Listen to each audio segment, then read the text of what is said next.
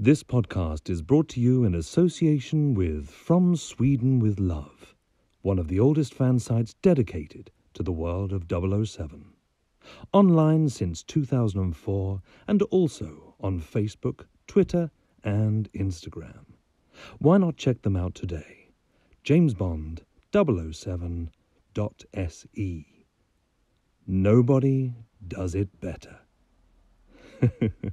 or as they say in Stockholm these days, Ingen gör det bättre.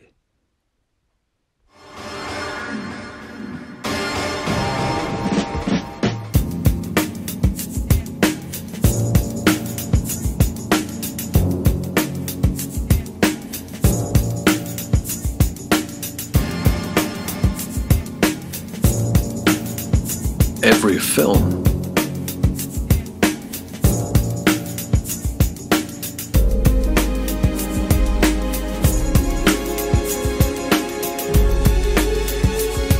every stunt.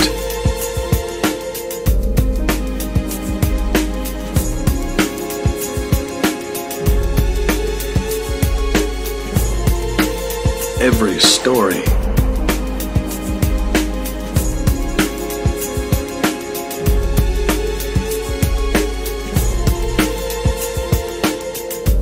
Ever heard of Evel Knievel? Welcome to the YouTube series.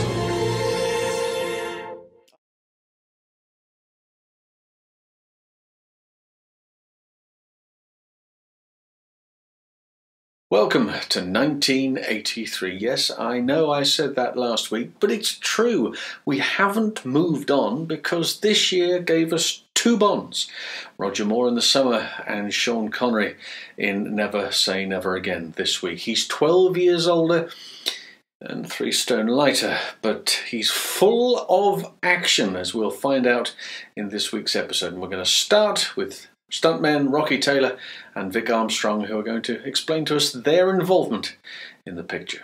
Off with Roger at Octopussy, and the phone went, and it's uh, Vic Armstrong phoning from Bahamas. He was doubling for Sean out on um, Diet Never Never Say Never.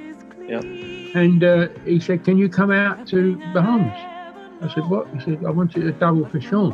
I said, Aren't you doubling? He said, I've done my ankle. I think he broke his leg or twisted his leg or he couldn't run. Right. And there was a scene where he was running through the forest. At the start, that's right. Helicopter yeah. was chasing him and he couldn't do that. So he wanted to know if I could go. So I said, Well, it'd be my pleasure.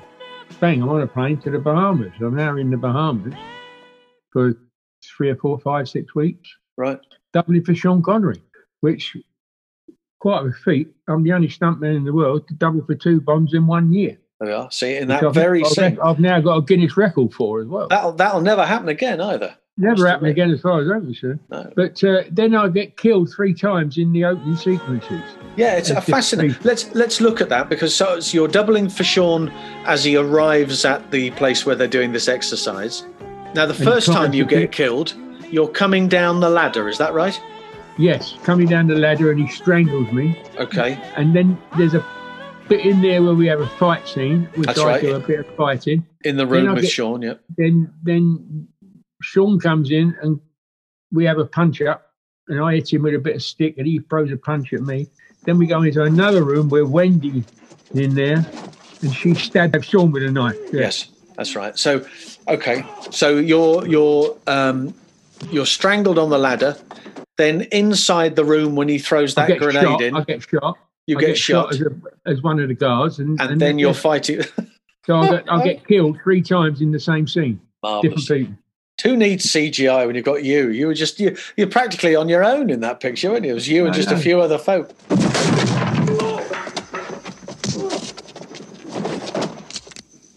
Never Say Never Again, Dave Tomblin, the first assistant director, who's a fantastic assistant director. I did a lot of shows with him, Superman and uh, Bridge Too Far, and yep.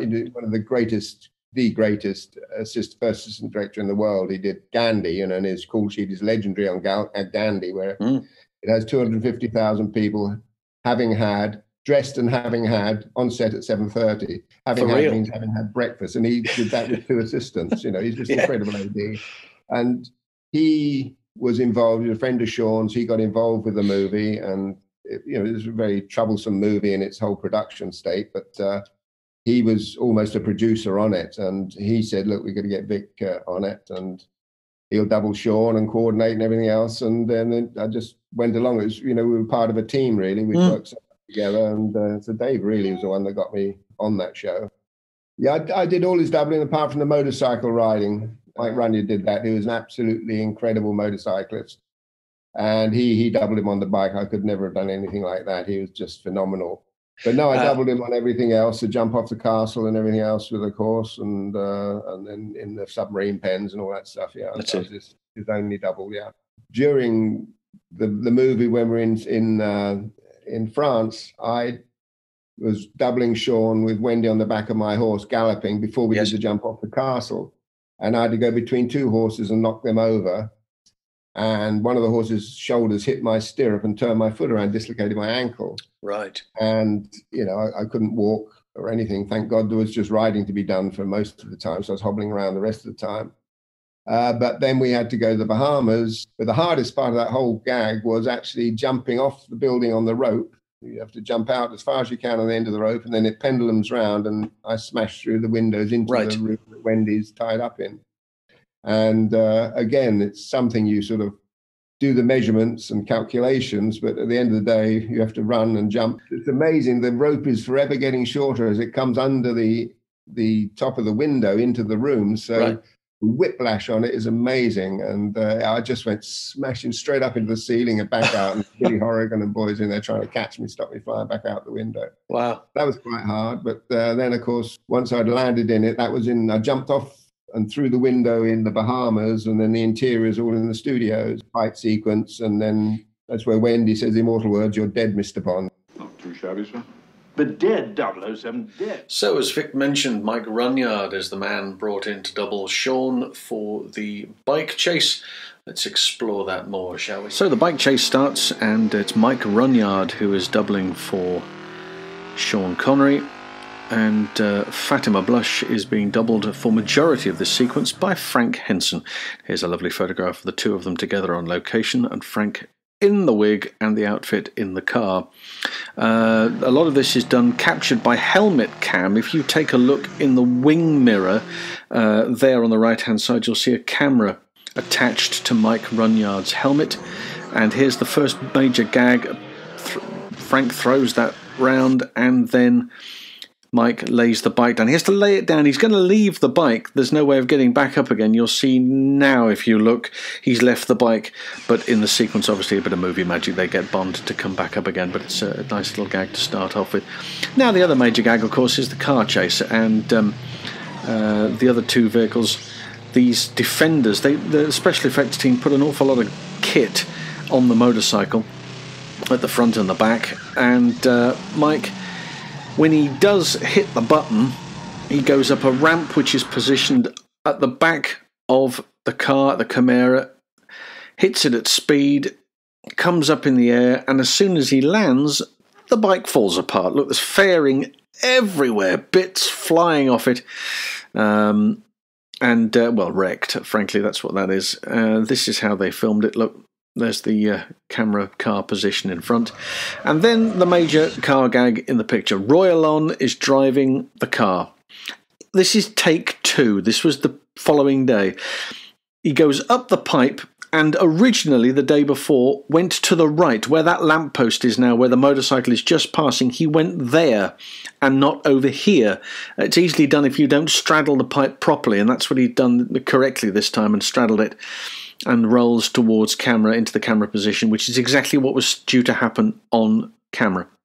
In the script, there's bottles everywhere, um, but um, he was very satisfied with that. I must admit. Although uh, I say the first time round, he went the other side of that and had to do it again. Quite expensive, but nevertheless, you know, you live and learn uh, and get these uh, get these shots done. But it's a great car turnover, and I must admit, it's a 76 Camaro, I think it is. Uh, the uh, the car pundits out there, they'll be going, no, it's a 75, you know, or a 74. I don't know. It's it's a it's a mid to late 70s uh, Camaro, and then of course the jump from one side of the uh, boatyard to the other, and again this is ramp to ground. And uh, here he goes and fires it from one side to the other. Fantastic, great landing too. Um, but a very good choice. Um, Vic said himself he was able to do a lot of the motorbike stuff, but just not as good as, as Mike Runyard. So why worry? Why waste time when you can give uh, you can give the motorcycle to a man who knows exactly what he's doing? Connery rides his rides a bike very well, and does do a lot of the riding in this sequence. Um, and there he is riding the bike now, quite happily.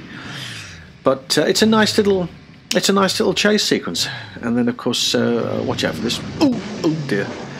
Whoops. And then the helmet comes off, and there's the reveal. But it's a, it's a nice job. The other major set piece is the last part of the film uh, in Palmyra in North Africa, and this gives us a chance to examine some of the action as Bond and Domino try to escape. There's is my old mate, stuntman Roy Alon, who plays the guard and uh, always managed to get himself an acting role. He quite liked this tash as well that he's wearing, his stunt moustache. Uh, so Roy comes in and checks. Ah, the bars have gone, so he's got to come up here and then, oh, 70 feet into an airbag. There we go. The splash was put on afterwards, and that's um, Vic hanging on the side there. Now, Bond, Connery, has to escape here. Here's somebody at the door. Oh, change of direction. And in comes Mark Boyle. Mark Boyle, we last saw in The Spy Who Loved Me, driving the Taurus that was chasing the Lotus, and he gets knocked out there. And now Bond has to go and get himself a horse. And this is Edward Garcia on the horse. Hey, down he goes. This is Vic. Gets on board and then that's Connery there. And Vic's an extraordinary double, he really is. This is all Vic, all in long shot here. Look, that's Wendy. Gets on top, and look, I mean, just fantastic. Really, really, very, very good. At a glance, you wouldn't tell. You really couldn't tell at all. Um, and now they ride back towards where the action is, losing the headscarf, and you get a better look as he comes past. It's terrific. Look, very, very impressive. Very good double indeed. So riding away, Billy Horrigan steps up now and is going to get himself wet. And this is 30 feet into... It's tricky to tell, but uh, as far as Vic was concerned, it was about seven or eight feet of water. He's got to go flat. We've had this conversation before. He's got to go flat, and he's not quite flat enough. So when he hits the water, his knees are still bent and his legs are still pointing up and he goes down far enough to be able to hit the bottom, causing himself a considerable amount of bruising and some internal bleeding as well. And he was in a great deal of pain after that. Um, he did heal over a period of time. Now, here's the jump. So we've got um, Wendy and Vic. Look, Wendy's feet are in the stirrups. Vic's feet are not in the stirrups. She's got to get herself out of the back of that saddle. And then it's um, Vic and Tracy Edden for the actual horse jump. Now, the horse has been trained over a, uh, over a period of months testing the horse from various different heights. This horse is called Toupe and is an experienced horse in water and for falling. These gags are no longer performed, they don't do them anymore. Uh, but at this particular time, this was the best horse that they had. They're going to try and stay clear. This is the tip tank that was used, you see there at the top. That tank tips and down they come. The camera is mounted inside that tank to get the image that you see, and they fall into the water. The horse, of course, absolutely no problem with the horse at all. Um, the Humane Society were on location. Obviously, they have to be on a production like this and uh, they see everything that goes on. They're fully aware uh, that the horse is in fine, fine fettle, and there is no issues whatsoever. And the horse uh, swam away. That wasn't a separate shot. Um, the horse swam away and was trained to swim away and walk because this particular area where they're doing this filming, uh, there's a walkway to one side, and the horse is trained to hit the water and then swim over and walk out. Um, and it's a very, very impressive shot, I must admit. Got a lot of flack, but um, all done perfectly safely, nobody injured. Great gag. I uh, just wanted to sh- show you the, the credits here at the bottom. Obviously, Roy Alon, Dickie Beer, Mark Boyle, Edward Garcia, Frank Henson, Billy Horrigan, Wendy Leach. They're the only. I've got Mark, Mike Runyard and and uh, and Vic Armstrong. Obviously, uh, I mean they're the the major credits that are on the picture. There's uh, Rocky, of course, we've discussed already. He's been killed a couple of times. Firstly, on the steps in the title sequence. Then he has that fight with uh, with Sean Connery. Um, also, a couple of other mentions we should look at. There's Billy Horrigan, who gets killed, well, punched the first time, bang, like that, and then gets killed a second time with a blow dart on the roof, and down he comes, and again inside the room. So he shows up a number of times. Wendy Leach, of course, uh, stabs Bond. This is Tip Tipping at the bottom and Terry Forrestal at the top of the stairs. Tip goes down, then Terry goes down.